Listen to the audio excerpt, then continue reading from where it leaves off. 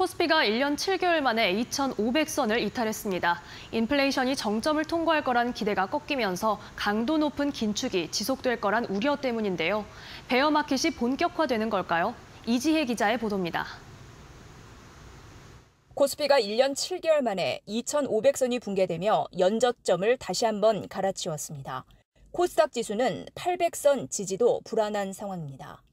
이 같은 증시 충격은 고물가 충격에서 비롯됐다는 분석입니다.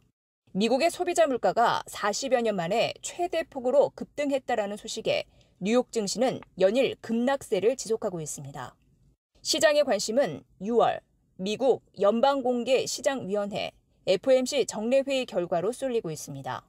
예상보다 심각한 인플레이션으로 미국 중앙은행이 기준금리를 더 가파르게 올릴 것이라는 전망이 나오고 있기 때문입니다.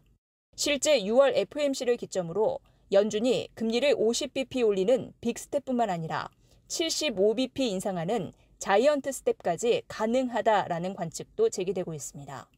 이는 경기 침체 공포로 이어지면서 베어 마켓이 본격화될 것이라는 분석이 나오고 있습니다. 유동성 측면, 경기 침체의 가능성 이런 부분들까지를 감안을 한다면 완전히 베어 마켓으로 진입했다고 평가해야 될 것 같습니다. 전고점 대비 약 30% 정도에서 단기 저점이 형성될 가능성을 예상을 하고 있습니다. 그래서 2300 근처가 단기적으로 저점으로 적용할 가능성을 높게 예상하고 있습니다.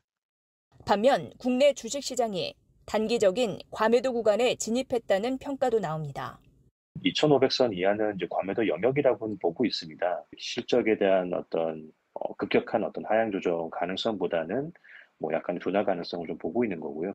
앞으로 시장의 관심은 물가에서 경기로 옮겨질 전망입니다. 극심한 변동성 장세에 대비해야 할 때입니다. 이데일리 TV 이지혜입니다.